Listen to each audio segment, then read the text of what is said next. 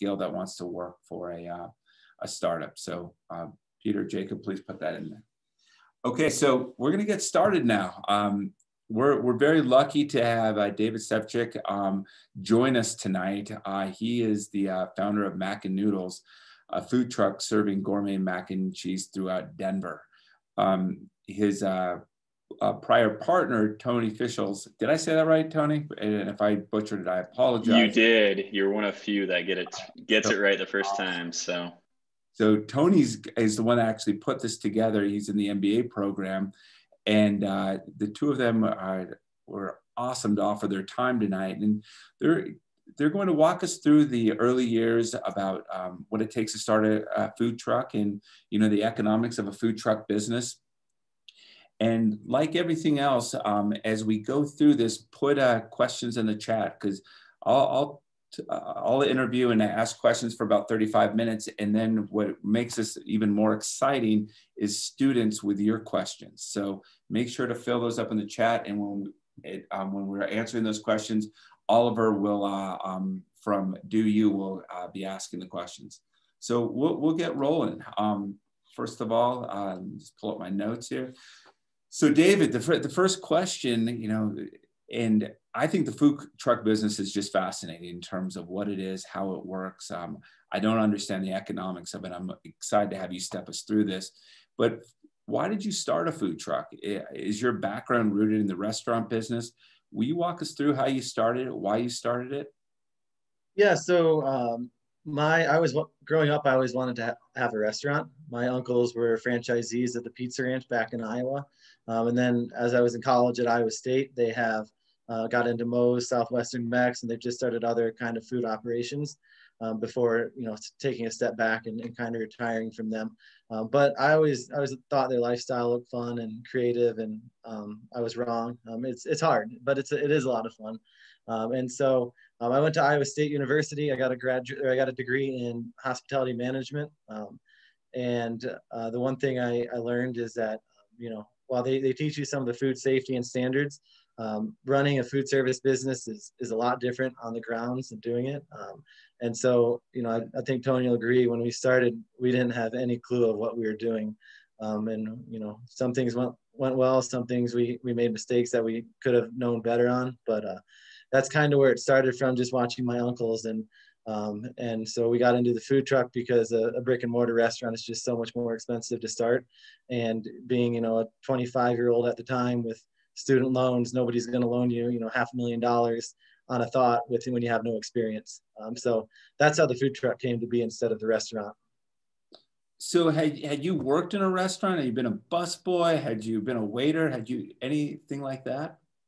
I was a delivery driver for Papa John's um, and Pizza Pit in Ames, Iowa, and that was the extent of of my experience. So, okay. All right. So you're 25 you've got the Papa John's background, you've got the Iowa State degree, you've got you're you're out of you're out of college, and you want to start this food truck. What did you do? What was the research work that was required? Obviously, you know you didn't have the cash for brick and mortar. You said food truck. What was the next step? The next thing we did is we spent probably six months trying to design a cheese sauce recipe um, and learning what a bechamel was, which seems like common sense now, but um, at the time, you know, you have to learn like what does salt do and how does salt um, affect your food. Um, and so without, you know, much prior experience, we, uh, you know, we, we went to Google and we just looked up a lot of different recipes. And then we played around with, you know, do we want whole percent, whole milk, 1%, 2%? Do we want sharp cheddar? Do we want mild cheddar? You know, do we want Gouda? Do we want these other types? Um, and we kind of designed a recipe that we thought would work. Um, and we just tested it and ate more mac and cheese than we ever wanted to. Um, and at that point, then I went, we went back to like our families and we would try it and test it. Uh, but that was, that was about all the research we did. Uh, we didn't really truly look into the food truck business itself or, you know, where we were going to park, what we were going to do.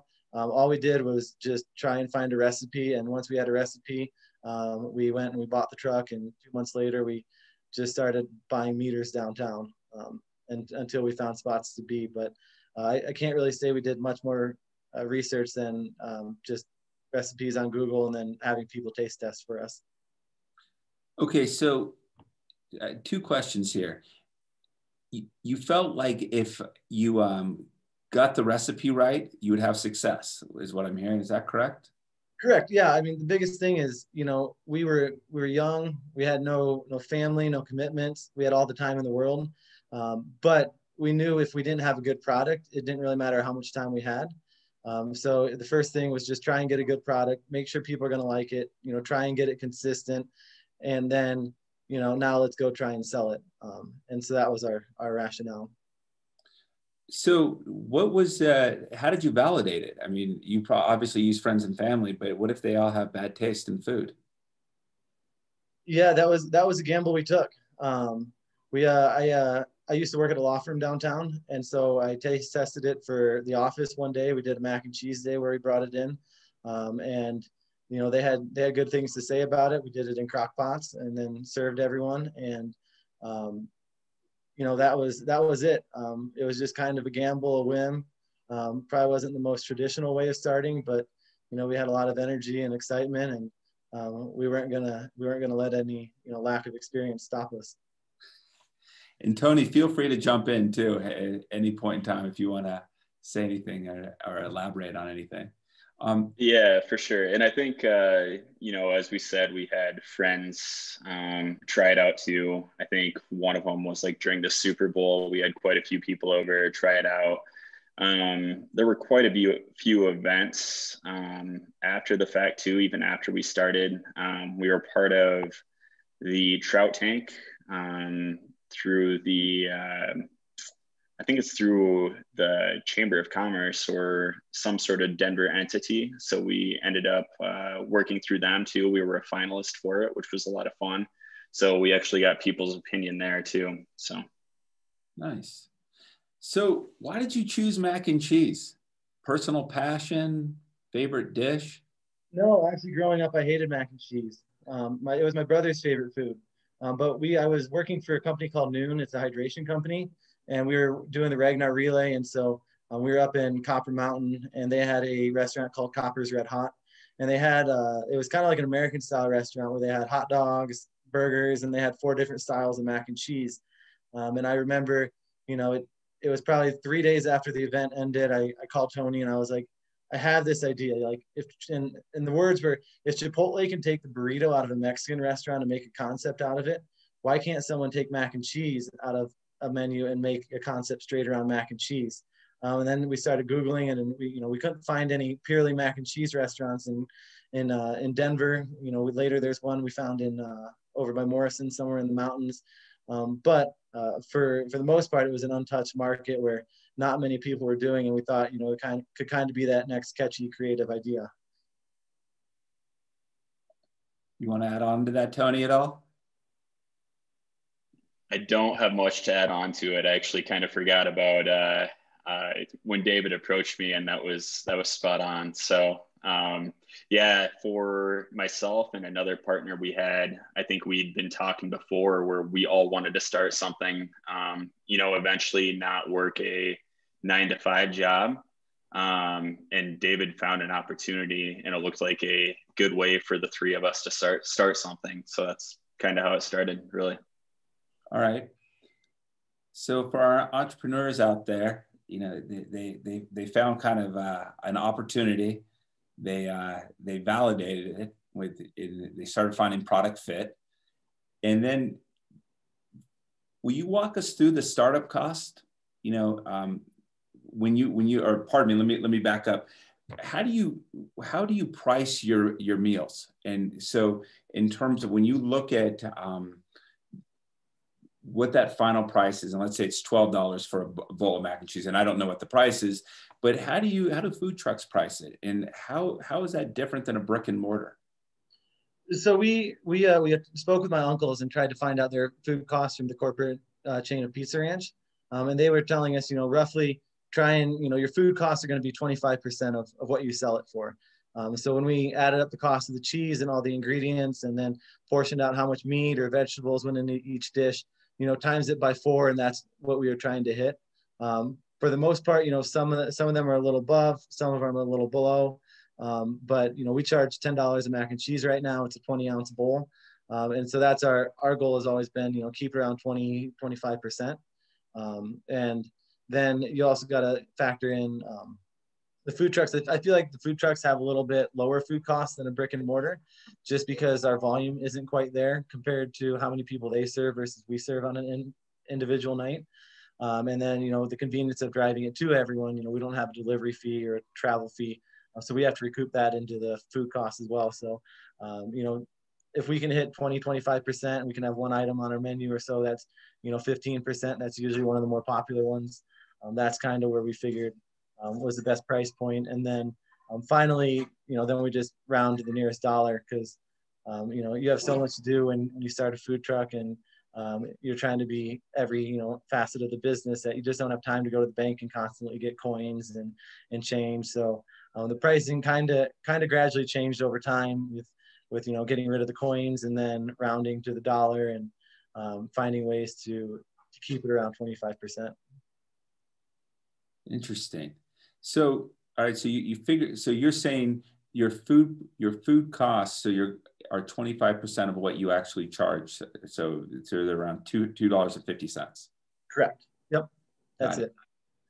Um, so in, in terms of the startup cost for a, a, food truck, what, what are those costs? So they've, they've changed a lot. Um, when we first started, uh, we met this builder in Denver out on uh, Brighton Road um, surprisingly, we we found him on Facebook or on, on Craigslist. And Tony and I walked into a shop in December or November of 2015, and uh, he sat us down and he told us he was going to build us a truck out and put all the gas, the water, the, the piping into it. Um, and this is 2015, and he was going to do it for about 38,000, if that's right, Tony. That sounds about right. Yeah, I was going to say around 40,000. And then so that sounds right so about about 38 and so that was our first our first truck. Um, now um, that guy is actually uh, indicted by the state and you know he's he's in jail. Um, so he he scored skirted a lot of corners and just didn't didn't do it the right way. Um, right now you're probably looking at 65 70 75 just for the build out and that's not going to include any of the you know the pots and the pans the spatulas the wrap the generator. Um, you know if you're going to get a trailer or a, or a truck you're probably looking around 70 um, so you got to look at not only what kind of truck you're using, is it an old one, is it a new one, um, or what kind of a trailer, and then build on top of that the you know the supplies to build it out with the framing and the piping and the electrical and all the other aspects that go into the food truck. So what are you all in on a food truck? So if, if I was going to go start one today, I come up with a concept and I, I go buy one. I don't need a trailer. I'm not smoking anything. What are my costs? If you're going to if you're going to go it's different. So if you go with a, a, second generation one so someone who's went out of business you can usually get theirs for 40 45 um, but if you're going to custom build your own you're probably looking for the truck uh, you're looking at 15 20 um, and that's going to be an older truck with 150 200000 miles on it. It's probably not going to be diesel. If you go diesel you're looking at 25000 um, and then probably another 60,000 to frame it, install the electrical, gas, and plumbing as well. Wow. And what is the time frame to, to build that out? If uh, in the winter, usually about six weeks. If you go during the heavy time, uh, when everyone's starting to do it, so early spring, middle of summer, you could be looking at up to three, four months. Interesting.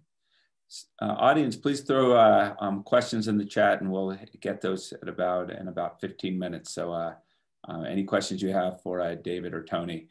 Um, so when you were retrofitting and building out your truck, what are the things that you needed to think about with design in terms of the number of people in there, the um, access to different cutlery, pans? What, how did you think about it? Uh, so that was a, a, major learning curve from the first one to the second one. Um, for the first one, we kind of thought about what we might need to cook it. Um, and you learn a lot after your first one. So we put in a bunch of equipment we did not need and we didn't make it very functional. You know, the, the setup doesn't really make a whole lot of sense right now. Um, but we were kind of trying to sit down and think about, you know, um, you know, we, we have a box truck, so we have 16 feet of cooking space, uh, eight feet wide, uh, 16 long. And then you have to measure out how long is your sandwich prep. You know, we went with the 60 inch sandwich prep, so that gave us 13 more feet or 11 more feet. Um, and then so we had to put the burners, the oven, the fryer, a table, a freezer, uh, refrigerator, and then shelving in there. And so we took, you know, we went on a piece of paper with the guy who's building it and he just drew it in front of us. We're like, here's all the equipment we need you know, how are we going to fit it in there? And then you, we kind of went down and, you know, what was our most important? You know, we wanted the long sandwich prep, so we went 60 inch sandwich prep. Um, but then that only gave us about uh, four feet for burners. Um, and then we had a two foot uh, flat top with an oven. The fryer is 18 inches. And so you really start, you know, you add in what's most important and then you kind of go from there and you, you add up how many inches you're at. And then you just draw it on a piece of paper and, and hope that, you know, we hope that our, our workflow was, was accurate at the time. Um, but, you know, that's things I would look differently at at the time. I just didn't know them when we went through it. What was the biggest mistake you made? Buying a truck. That was by far the biggest mistake. I would uh, highly recommend a trailer for anyone who's going a food food truck in the past in the future. How come?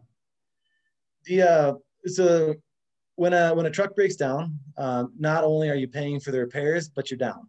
Um, these trucks, they're they're old vehicles, uh, they're high mileage. Um, there's not a whole lot of dealerships that'll work on them or mechanics anymore. And so the ones that do are a little shadier. Um, so you don't quite get the best work all the time. Um, I was actually trying to fix a um, uh, the pump module on the the brake lines, and so I was going to John Elway Chevrolet, and it's a Chevrolet workhorse. Um, but because these tr- trucks have so many issues, not even John Elway Chevrolet will work on these trucks anymore. Um, so now you have the high cost. You know, it's you know anything that happens on a car um, times it by five and that's what you're looking at at a, at a truck. You know it's a $3000 fuel pump. It's not just a, a $600 pump um, plus labor. And so the costs really add up. And so you know a small repair can be two to three thousand dollars. And trying to find someone to work on it you're down three to four days. So you have no revenue. You're out three thousand um, dollars on a truck you can go to any enterprise any um, car rental place and you can rent a Ford 250 for you know 75 bucks a day and you're still in business to cover those costs because um, the trailer doesn't break down just the engine of the vehicle. Interesting. Um, okay so i want to uh, switch gears now and talk a little bit more about talk about strategy so what is, and you mentioned this a little bit at the very beginning, talked about meters. So what's the strategy around truck placement in terms of, I see them at breweries, I see them downtown, I see them at festivals. Where is the best place and optimal place to maximize profit? And uh, also, are there regulations to consider based on where you, you park? Yeah, so every city is different. Um, you know, Denver has to have go through a fire inspection and a health inspection. Um, there's two licenses that you need. You need a health license from any county and Denver. So Denver does not reciprocate any county's health license, but every county that is not Denver reciprocates any other county's license. Um, and so you have to figure out what county you're going to get licensed in and Denver if you want to operate in Denver. Um, and then each city is a little different. So if you talk like Superior um, or Lafayette, I don't remember which one, they don't allow a food truck to be in one spot for more than 15 minutes. So if the cops catch you there for more than 15 minutes, they shut you down on the spot um, and you're just gone. You have to leave or they'll fine you. Um, and they're not going to let you open anyways. Whereas like uh, Westminster, Littleton, um, Lone Tree, Highlands Ranch, uh, Castle Rock, they're all different. You can kind of park wherever you want. Um, the best places are not in the public right away. What I mean by that is like the street at meters. Um, the best places are usually private property, neighborhoods, HOAs, schools, uh, you know, places where you're not on the road. Um, and so when we when we first started, our goal was to win Denver, um, and we wanted to be you know the biggest food truck in Denver, and um, and so that meant a lot of times we'd be in Highlands or RiNo, um, and when we over time we kind of learned Denver is not really the optimal place to be. Uh, if you follow the 470 loop in the Northwest Parkway, kind of around there, the suburbs is, is where you want to be. In uh, in Denver, a lot of times you know, you're dealing with a younger clientele, um, you know, probably 18 to 35 for the most part. Um, it seems like in the places you go, and especially the breweries. Um, you know, when, when people who are just out of college or in college, they go to a brewery, a lot of times they'll sit down and everyone will get a beer, um, but they might split an entree. You go to the suburbs and you're in Highlands Ranch or Lone Tree, and mom, dad, kid, you know, five year old, doesn't matter how old they are, they all get their own entree. So, you know, instead of having three people split a $10 entree, now you have four people buying a $10 entree each. So um, over time, we kind of found out the suburbs are where we want to be, and we don't really want to spend any time in Denver um, too much anymore. You know, we still go to Denver, just it's uh, it's maybe once a month instead of you know three four times a week. What about what about festivals? I mean, obviously post COVID or pre COVID. Yeah, so so festivals are tricky. Um, you know, you can you can do very very well at a festival. Um, it's kind of a pay to play model, so it's it's hard when you're starting. Um, there's uh, like we do Global Music Dance Festival at the Sports Authority Field, and they charge us, I believe it was eighteen hundred dollars for two days. So we're paying nine hundred dollars a day to be there. Um, we went to Warp Tour uh, when that was uh, going on at Pepsi Center, and that was thousand dollars a day. Um, and and so it's you got to be careful because the festivals have a, a, very large price to be there, and if they're not a captive audience, if that price is that high, you'll never make your money back.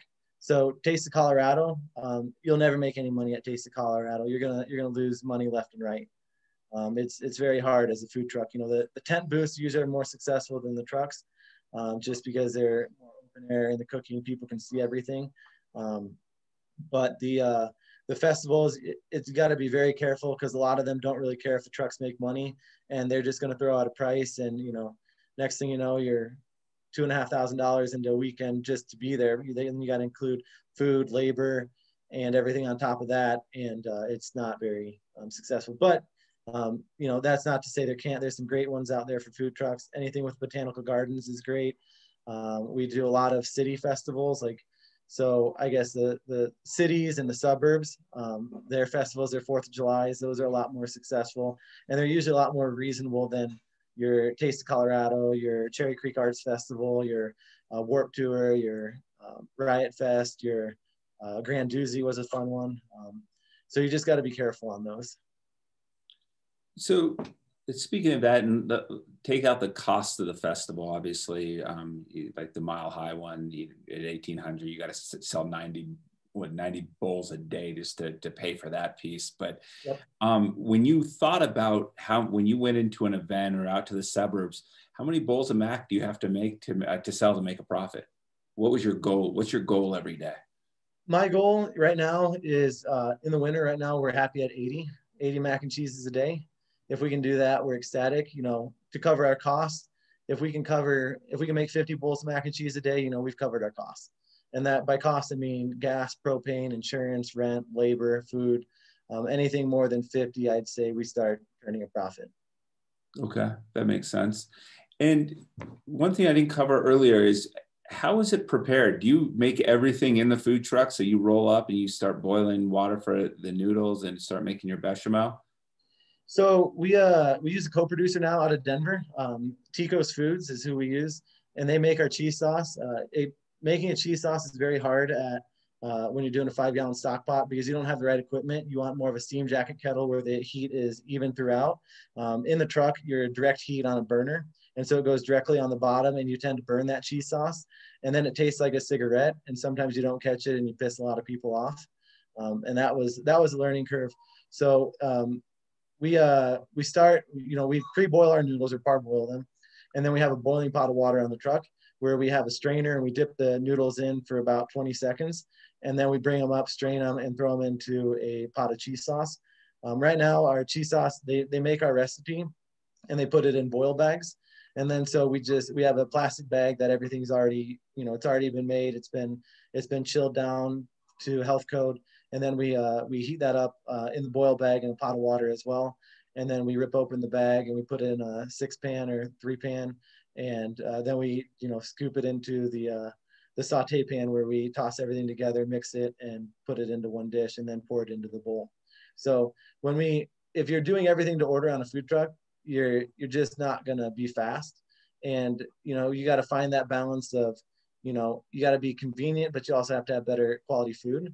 Um, you know you can't serve McDonald's quality food and expect people to come up. Um, you have to give them some value for for their bang or their buck. Um, so it's about I'd say when we when we roll up to the event, everything is already uh, cooked, and then now it's just a it's a warming process and a and a plating process. You do you think that's um, pretty much standard across around the industry? I mean, obviously, different food is you know prepared differently, but a lot of it's pre pre made, pre prepped. I do. You know, especially when you look at your barbecue trucks, they're smoking meat for 12 to 18 hours. Mm-hmm. Um, you know, if they the smoke you smell might be them smoking their meat for the next day. It's not what they're going to serve that day, um, especially if it's at night, because it, you know when you're looking 12 plus hours to smoke it, um, it's all been done a- ahead of hand, um, and then you can bring it up to temperature and then serve it. Um, you just you don't you're so low on space that you have to you have to make you know some sacrifices, and I and I think it it uh it actually does make you know for the food truck, it speeds you up, but it also keeps things more consist- consistent. Okay. Yeah, and I think uh, when we first started the truck too, our idea was going to be to make everything on demand, and that's probably why we had a lot of things in the truck that we didn't need, and that just wasn't possible. It would have taken way too long, and then even when talking to brick and mortar restaurants, they kind of have the the prep process too where they make things ahead of time and then they do like a warming process. Um, so it's not even unusual in the industry even for some of like the fast casual brick and mortar concepts too. So. Got it so we're going to switch gears and this is um, something that's very unusual. Um, we're going to talk about partners. And uh, you know david you, you and tony were partners at the beginning then you are now uh, on your own. And you, one of the things with business a lot of times, and it, it's it it's an unfortunate part of business. You know, biz, partnerships are like marriages. Sometimes they're more difficult to break up than marriages, and uh, most of them don't end very well. Um, so I'd like you to to talk about you know how how you went from partners to no partners, and and how how that worked out. Yeah, so um, we started as you know, I mean, we, we were pretty good friends um, leading up to it. Um, you know, they say don't go into business with friends and partners um, or friends and family. Um, and, and I can see some of that's true. The, uh, the thing, you know, we started with is, is I don't think, you know, we just, we had, we had different views as everything started to go on. Um, we had a lot of the same goals, but uh, we made, we made some big mistakes. Um, and I'd say some of those mistakes, you know, were, were definitely financially driven. Um, you know, we, we, uh, we took an opportunity in California that uh, we lost a lot of money on. Um, we we went to California. We opened up in the theme park in California's Great America, and uh, we went in there. And when we came back to Denver, our truck was broken. We had brought up you know forty thousand dollars in high interest credit card debt, and for a new business who was still learning, uh, it just it it put a lot of stress on on the relationship, similar to how finances can ruin ruin a marriage too. Um, and and so, you know, as as time went on, um, I think we we realized, you know, we had some different goals. Uh, we had some different th- ways of of doing stuff, and uh, and it just it just came to you know a place where we needed to uh, just end things and and go and go from there. Um, but you know, I mean, part of it was our own. Um, how do I say this? Um, we we're naive we didn't quite understand exactly, you know, what we were doing in going into. We had no experience, and uh, you know, I think Tony would agree. You know, going forward, we we both learned more from that experience than we would we ever thought we would. Um, so I, I guess I don't know if you have a specific question or or anything on that, or Tony can chime in here and and see if I'm missing anything. Yeah, and I guess as far as we had three partners total, myself, David, and another one. Um, so myself and the other partner, um, we had other full-time jobs, whereas David was working full-time on the restaurant concept that we had, um, Mac and Noodles, um, which makes it really tough. David was doing all the work.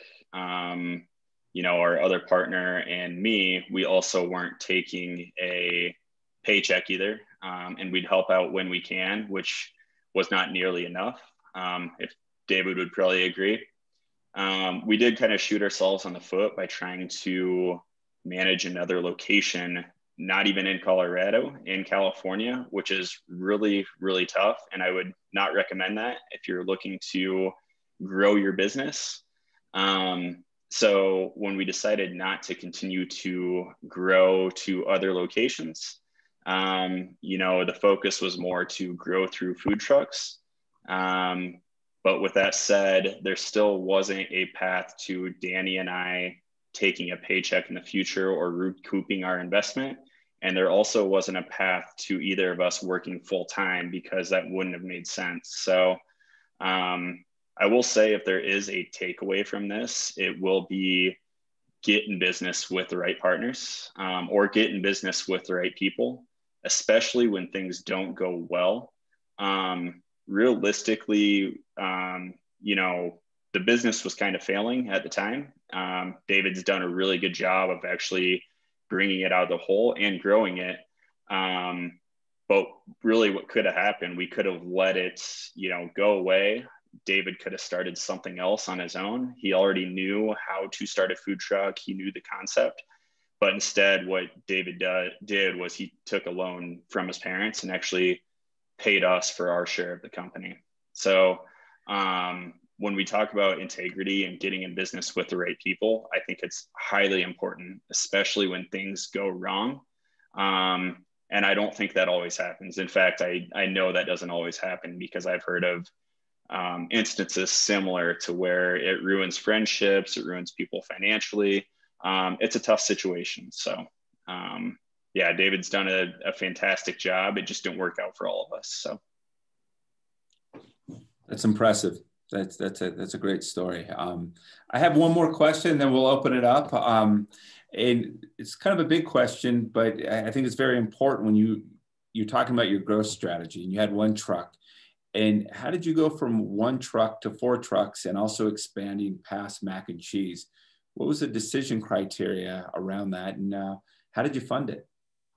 Yeah, so we went to um, we went from one mac and noodles to two mac and noodles, um, and it was just kind of uh, trying to you know we had a we had a lot of schools we work with um, where we couldn't fulfill multiple requests in the same night, and so we thought it would make sense to add a second mac and noodles truck.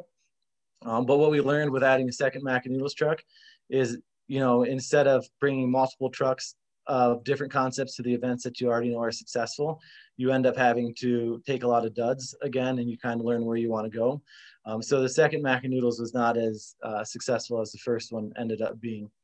Um, and so that's when we, um, so for the second one, uh, Square offers a loan based on your sales.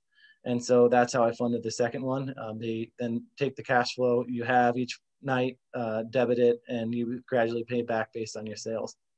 Um, and then the third truck was the wrap truck.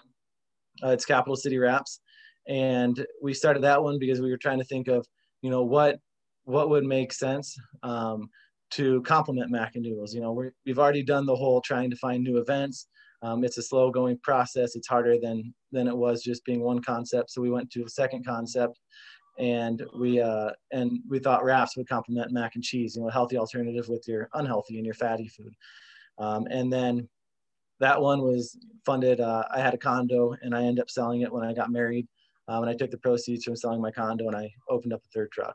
Um, and so um, that one, not really traditional bank financing as well. Um, and then the fourth one, uh, so that was the first one we started in 2016. The second Mac and Noodles opened in 2019. Uh, in January of 2020, it was terrible timing for a wrap truck. And uh, we opened it right as the pandemic started. And uh, that one, you know, now that one was on the road. And then the fourth one is the Colorado Pig Rig, and it's uh, it was a barbecue one. And I've gotten to know a lot of different food truckers in the metro, and so I knew one guy who was um, looking to get out. He wanted to move to Vermont, live on a farm, um, and he would finance the truck and himself. And so I found, so I got a deal with him where he would finance it. I'd make him uh, monthly payments until it was paid off. And uh, I intentionally, I didn't actually want to buy it when I approached them. Uh, we had a contract catering FedEx where we were catering, catering them in November and it was, you know, four or 500 meals a night, um, three times a week. And so I just wanted to rent his truck and um, he had talked me into buying it rather than renting it. And so I somehow ended up with a barbecue concept in November. Um, and, and so I'd say, you know, we've, we've looked at, you know, we, we had started with the, uh, California Adventure in 2016, um, which was just a, a shot through their investor relations website. Um, you never know when they'll actually listen or reply. And then we looked into a brick and mortar in 2018, but that fell through. And so then we did the second food truck. And then after that one fell through, I realized, you know, I was fortunate we didn't sign a lease on a brick and mortar because it's expensive. So uh, we then we opened up the third one, and then the fourth one kind of just fell in our lap because of a, a FedEx contract, and um, and it's more just being a. I've never had a set idea on on what to do. It's always kind of been, you know, here we are in the moment. What makes sense? Um, what opportunities are out there? And then kind of being willing to change with with what's going on rather than being set on this has to be it that has to be the way it's kind of like what what now makes the most sense and going from there? Well thank you for that. That very interesting. Um, oliver i think we have some questions in the chat. Do you want to take over? Yes. Um, so there are three people to ask questions. First uh, kim lambuie asked uh, three different questions. Uh, kim would you like to read them? If not, I can read them for you. No, have have the students read them. Okay. The audience. Sure. Um, can you hear me? Yep, sure can. I can read it. I'm not a student. I'm actually another food trucker, and I've I've heard of Dave's truck, and I just wanted to hear from a veteran because I'm pretty new.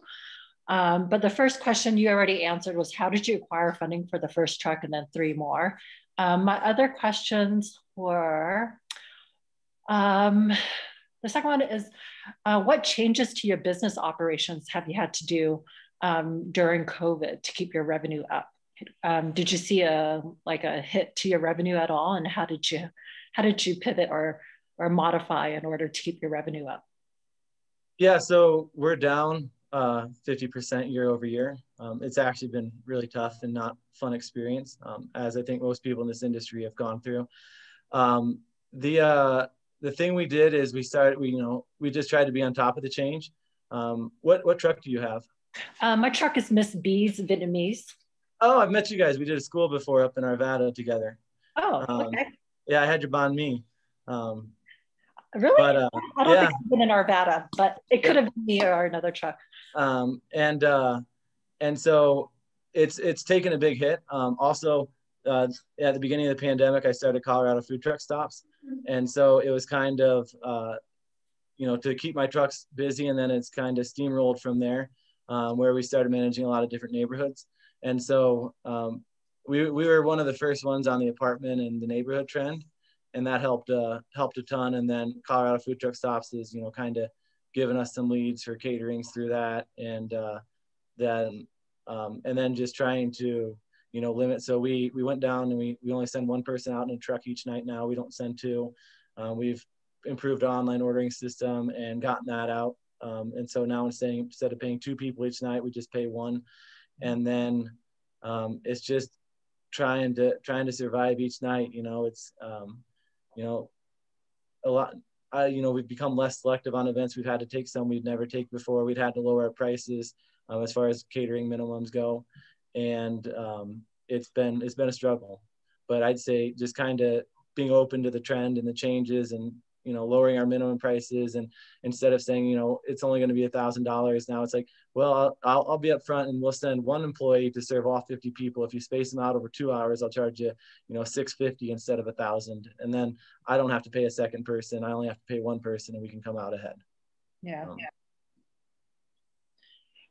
Yeah, it's been tough for me too. My other question is um, I have another one kind of related to what you just talked about.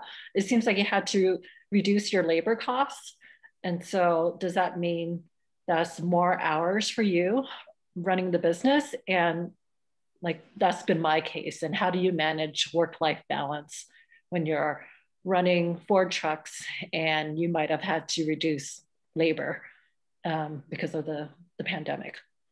Yeah, so um, I uh, I actually got married in March, and I ended up working the next 30 days in the truck because that's when the pandemic hit, and so it was um, it was do whatever it takes to just get to the other side. And um, I was I was working nonstop, kind of similar to like when we first started. It was you know 80 plus hours a truck a week in the truck, um, you know, and um, so I'm fortunate in the fact that I have multiple trucks, and so I do have a prep person that I'm able to pay to, you know, kind of take care of the food, and so I just have to go out and sell it. Um, but when I'm in the truck, um, I always have my phone on, I always have my email on, um, and I'm always taking other calls and and doing stuff and making the most of the excess time when people aren't walking up. And so, um, you know, we, we try and get to the, the spot at four instead of five. And I know we're going to be dead at four, but I beat traffic, so it's a shorter drive. Then I can sit there and I can answer emails. And if one or two people walk up before five, you know, um, it's just a bonus. It's something we're not counting on. Um, but I, I've been fortunate. I, I've got some strong employees who I trust a lot, um, and I've just kind of had to open up my trust to them to to do the job and and just kind of take a step back and, and trust them that you know one person isn't going to kill me each night, but you know two probably would. Thank you. I appreciate that. Yeah, you're welcome. And then uh, Shaylin Claypool had the next question. Hi, uh, my question was just, did you ever experience like any doubts when making um, pretty much all the decisions you made? And if you did, um, how did you deal with those and like get through those? I would say you you never quit doubting yourself. Um, that you know, it's even even today we constantly doubt ourselves. Um, do we make the right decision? Do people like our food? Um, did we you know do our best? Did did the cater um, the people we're catering for were they happy? Um, that that thought never goes away. Um, I think you know when when you're not answering to someone above you and you're not standing behind someone's product product and you're standing behind your own um, you'll you'll always have that self-doubt. Um, but you know at, at, the end of the day I, I, like the idea of sinking or swimming by my own you know faults. And so um, i'm just kind of come to a place where you know if it, if it ever does go under you know i, I gave everything i had um, and i i'll have no regrets about trying or or you know going out and taking a chance, I, I would have had more regrets just wondering what could have been than than going out and failing. And you know, at the end of the day, that's that's just how I live. Nice, thank you. And then uh, Jason Kesner is next.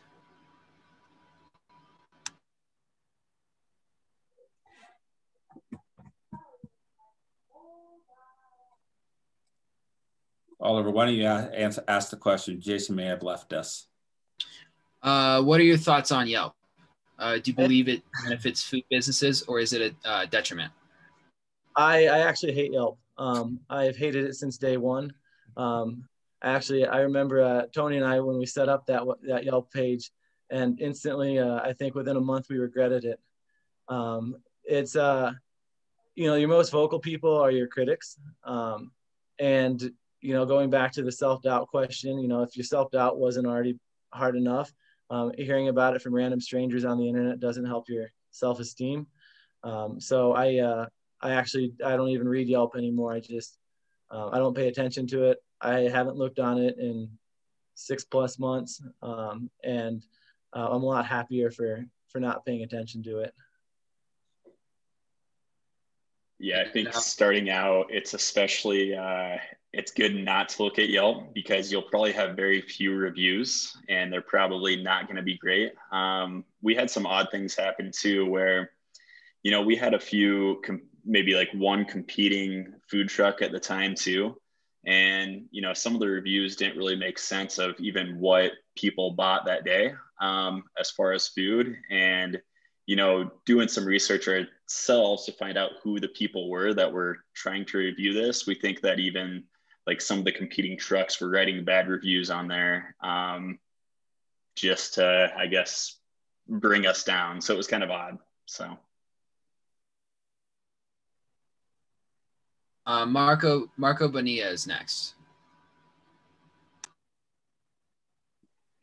Good evening, everyone. Uh, real quick question has to do with the support structure. What does a support structure look like uh, for the food truck ecosystem in your area? A support structure as far as like the other trucks or the uh, both event? the city the city and the other trucks. Is there a food truck association? Does the city support you? Uh, is there see I, am in boston so so forgive me for not yeah. presenting myself. I'm one of the professors here uh, online professors at the university of denver. Uh, city of boston has a website several websites that interlink food truck permits how to get a truck, how to build the truck. And there's a there's a pretty strong support structure. I'm not sure if it's profitable still, right? I don't know any of the background information, but it looks like at least there's a, a support structure for you to build upon. And it, they tell you which sites to go to, how to do it on a private site versus public locations. And that's just the greater Boston area. Yeah. So um, I think the cities are opening up to it in Colorado. I think we're still a relatively new industry in Colorado um, and they're constantly changing. I was actually on the phone with the city of uh, Brighton, Colorado, which is the northeast suburb of Denver, and they're trying to rewrite their food truck rules and regulations. And Denver's constantly changing theirs. Um, I would say, for the most part, a lot of the cities are open to it and they're very um, helpful and they're trying to change with the times right now as food trucks continue to become more and more um, popular in in Colorado. That they are they are more open to it. Um, I'd say, you know, when we first started five years ago, um, it was hard to figure out where you can go, how to work, um, and uh, your biggest thing is is your your friends in the business. So um, from support, I'd say the the other trucks are worth way more, um, you know, than than trying to be confrontational and not offer advice and not help them. Um, and so the trucks that we parked with at our commissary, you know, they became some of my good friends, and we would turn into trading uh, trading spots. So one person would get into a location, and then they'd recommend the other trucks in the yard, and next thing you know, the seven or eight of us, we we were their schedule. Um, and then you know, as we added one, we would bring them in, and so um, the the trucks in Denver, fortunately for the most part, I would say most of us are pretty open to helping each other and and wanting to see others succeed. Um, the ones who have been more confrontational um, probably have not lasted as long as the ones who are more working together.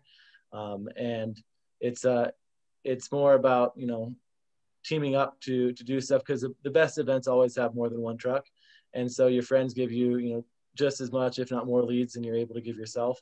So it's the it's the other trucks that are much more important to be friends with than than anything else. Scorpio Rogers is next. I sorry, I apologize. I, I, came a little late. I was actually uh, snow blowing snow. I'm in New York, so I came in from blowing snow. Uh, so super quick, I, am sure you went over this. Why a food truck? Why mac and cheese? And then can you tell me a little bit about your educational background? What was your major? When did you graduate? That's that's sort of good stuff. And then tell me how your education helped you. Like, did you take business classes? Did they help? Yeah, so it was a, we chose a food truck because it's a little cheaper than a restaurant. Um, I was 25 at the time. Um, you know, even with uh, two partners who had a permanent income or outside income, we still could not get approved for a restaurant loan. Um, it was going to cost uh, estimated at three 350,000 plus. Where a food truck we could start for under 50 at the time. Um, you know, the why mac and cheese. Um, we just thought it was catchy. Uh, we, you know, I was at a place in Copper Mountain, Colorado, um, and there was a there was a restaurant there. They had four different versions of mac and cheese. And I thought, you know, if Chipotle could take the burrito out of the Mexican restaurant and build a concept around it, why couldn't someone take mac and cheese out of, you know, an American restaurant and build a concept around that? Um, and so that was kind of where the mac and cheese came from. Um, my degree was in hospitality management at Iowa State. I would say, um, as far as operating a restaurant, I did not have any um, takeaway experience for them. Uh, their their experience for me was more in food safety. So going in, I kind of already knew the health code, and that was that was my only experience I had. It was so I knew you know time, temperature. I knew how the you know you're supposed to organize your refrigerator with your produce at the top and your raw meats and vegetables at the bottom, or your raw meats at the bottom, your raw vegetables at the top. Um, but that would be about all I knew going into the food trucks as far as um, what my education had had given me. Um, I wish I would have taken more finance classes. I wish I had a better of understanding of accounting at the time, uh, because and I wish I knew more about human resources because at the end of the day, you know, a lawyer is expensive, an HR firm is expensive, and you have to wear the hats of HR, uh, lawyer, accounting, and uh, and everything, and, and figure all that out. So um, I just I wish that's the stuff I would have known better at the time. Great, thank you. Uh, Kim Lambu has another question. Um, hi again, Dave. Um, my question is, what do you envision for the future of food trucks here in Denver after COVID uh, numbers go go down to like safer levels? Um, do you think food trucks are going to um, continue to stick with neighborhoods or you know go back to breweries like what do you what do you see like how it trending after after things kind of go back to safer levels yeah so um, it actually kind of sped up the process that i was kind of already wanting to be on anyway um, i've always thought that the food truck brewery concept con, concept is a failed relationship um, you're just an asset to the brewery, but the brewery doesn't truly care about the food truck at the end of the night. So I've always been trying to get out of them. Um, and you know, it's to them, it's it's their customers, and you're you know, you just don't mean a whole lot. So I, I do think the neighborhoods are going to continue to get better and stronger. I think more and more neighborhoods will add food trucks. I think the neighborhoods will continue to be more year round than just uh, May through October. I'm a little nervous. I don't I don't know if the festivals will come back in the same capacity they were before. Um, I I do think you know with mac and noodles and mac and cheese, we were big into the schools of Colorado. Um, so I think I think those will come come back. Um, but I I don't foresee the office buildings that we all went to for lunches and the big you know clients like um, Arrow or Lockheed Martin. I don't foresee them you know even while they're able to have uh, a lot of people in person. I don't think those numbers will ever be the same in the office buildings, and and I think that um, will will decline. It'll be a much more um, neighborhoods and apartment complexes in the future. Thank you. You're welcome. And those are all the questions in the chat. Thanks, Oliver. I appreciate that. Yeah, it's interesting. I, I see we live out in Golden and I'm, I'm seeing a lot more postings of, hey, there's a food truck on 64th and 93 and they'll be there tonight between five and eight. And if you don't feel like cooking, come come out there. And which I think is a wonderful idea and, uh, and a great opportunity. Yeah, I think Nextdoor and Facebook are by far your biggest friends right now in, in food trucking and knowing someone in the area to post for you because – I mean, it will it'll make or break your night just by who you know in the neighborhood. Yeah, that that makes that makes a lot of sense. Um, David and Tony, I, I, really appreciate your time tonight. You you guys uh, dropped a lot of knowledge and something around a, a, topic that I was not familiar with, and I, appreciate you being so willing to share your time, especially since you just had a, a young a young baby, so uh, or a baby. So uh, we really appreciate that if everybody would just unmute their mics and give every uh, Dave and Tony a big round of applause, I'd appreciate it. And uh, you know, just th- thank you all for uh, for coming. And uh, thank you. Thank you. Thank you. Thanks for having us. Yeah, thanks everyone. Any anytime, and uh, that concludes tonight. And everybody, uh, thanks for coming tonight. Be safe and be well. Thank you. Thank you. Thank you. Thank you.